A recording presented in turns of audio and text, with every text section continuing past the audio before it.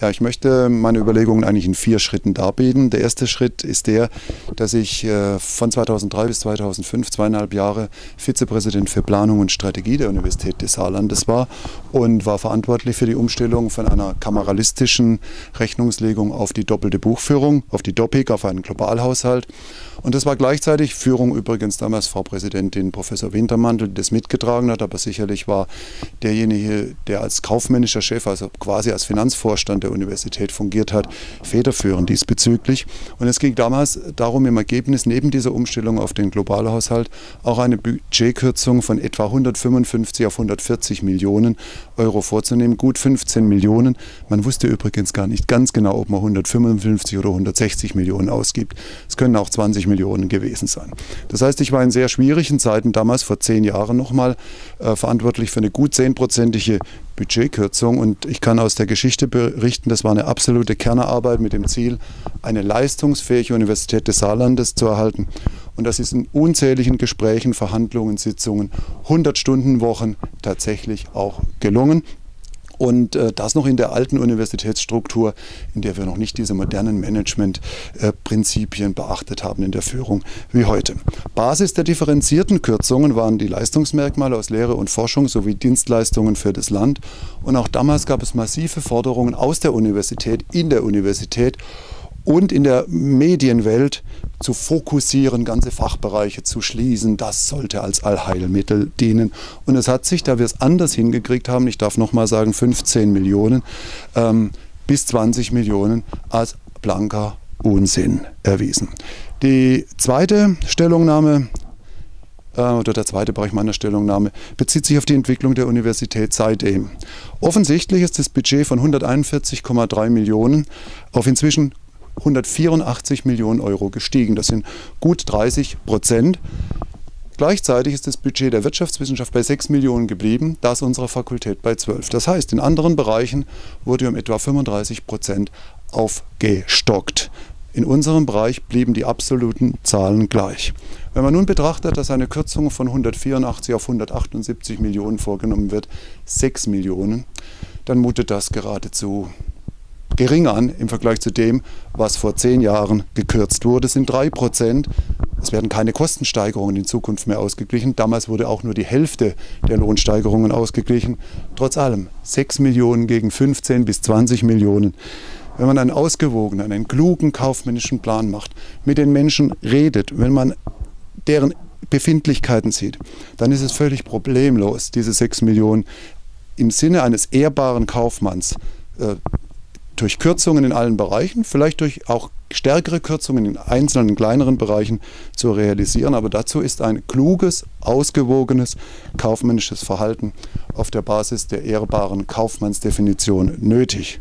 Nochmals, auch damals gab es Forderungen zur Schließung einzelner Bereiche und ganz massive Forderungen. Und es war nicht nötig. Und das Volumen war ein eindeutig wesentlich größeres als das, was jetzt im Gespräch ist. Mein dritter Gedankengang, der Plan des Wissenschaftsrats wird, das wollten Sie ja eigentlich von mir auch hören, von der Wirtschaft, um es ganz vorsichtig auszudrücken, mit Entsetzen aufgenommen. Der Begriff Katastrophe für das Saarland fällt permanent, egal mit wem man redet. Steuerberater, Wirtschaftsprüfer, Rechnungswesen, verantwortliche Unternehmer, ähm, Vorstandsvorsitzende, ähm, man muss einfach sagen, die Leistungskriterien der Saarbrücker Wirtschaftswissenschaft an unserer Universität sind weit überdurchschnittlich, sowohl im Vergleich mit anderen äh, Wirtschaftswissenschaften außerhalb anderen Universitäten, aber auch im innerfachlichen Bereich. Lassen Sie mich nur ein paar kleine Beispiele bringen. Das Renommee in der Wirtschaft ist gewaltig, der Saarbrücker Betriebswirtschaft. Unsere Absolventen, obwohl es so viele sind, werden vom Markt regelrecht aufgesogen dieser Tage wurde ich wieder mehrfach von Partnern aus der Wirtschaftsprüfung im Saarland angesprochen. Haben Sie mir nicht jemanden?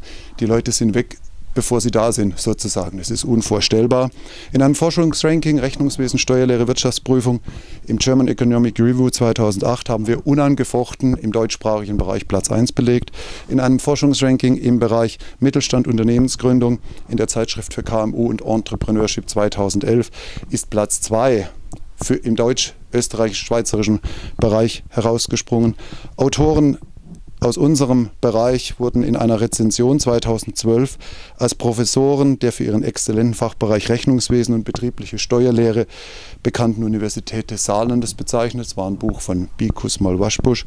Und schließlich zum Aspekt Service für das Land, da habe ich mich sehr darüber gefreut. Gerade dieser Tage hat mich Bundesminister Heiko Maas, mit dem ich viel in seiner Eigenschaft als Wirtschaftsminister zu tun hatte, für die sehr konstruktive und verlässliche Zusammenarbeit ähm, gelobt oder sich bei mir bedankt. Und dieser Dank geht übrigens in gleichem Maße auch Herrn, an Herrn Minister Maas zurück. Mein vierter und letzter Gedankengang. Die Argumente unseres Fachbereichs, die sicher an anderer Stelle schon genannt wurden, sind stichhaltig. Der Plan des Wissenschaftsrats führt zum Konzept der schon ganz als eindeutig gescheitert anzusehenden Gesamthochschule. Ähm, der Wissenschaftsstandort im Bereich Wirtschaftswissenschaft Saarland wäre akut gefährdet.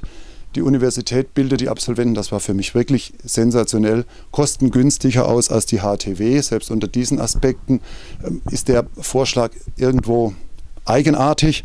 Die Nebenwirkungen, Wegfall Hochschulpaktmittel, wurden von unserer Seite, glaube ich, auch entsprechend erwähnt. Die Differenzierung Universität Fachhochschule ist jahrzehntelang gewachsen, hat ihre guten Gründe, sind zwei verschiedene Dinge, ist ein Aliud, ist auch gut so. Und beide haben ihren äh, Anwendungsbereich, ist auch meine ganz eindeutige Meinung.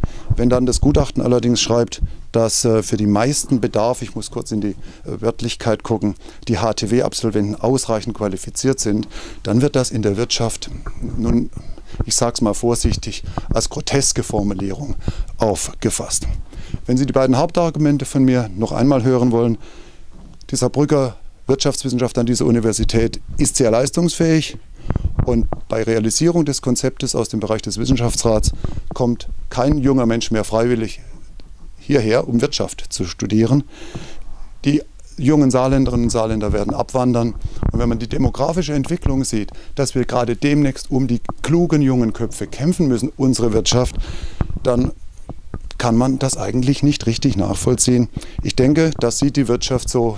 Die Realisierung dieses Vorschlags hätte unabsehbare negative Folgen für das Saarland. Und ähm, wenn ich das noch sagen darf, wer sich wie ich für diese Universität wirklich eingebracht hat und vor zehn Jahren auch als Vizepräsident für Planung und Strategie, der empfindet es schon als besondere intellektuelle Leistung, die Umwandlung eines Leuchtturms in eine Turmleuchte als Rettungsweste und Rettungslicht vorzuschlagen. Die Alternative wäre von klugen Politikern ein ausgewogener Sparplan, der formuliert und realisiert wird, mit den Leuten besprochen wird. Das, was ich damals übrigens auch federführend gemacht habe in der Universität selbst, übrigens auch mit Unterstützung von Herrn Minister Jürgen Schreier, den ich auch sehr geschätzt habe. Wer einen Leuchtturm in eine Turmleuchte verwandelt, wird sich nicht wundern dürfen, wenn das Schiff auf ein Riff läuft. Es wird unvermeidlich sein.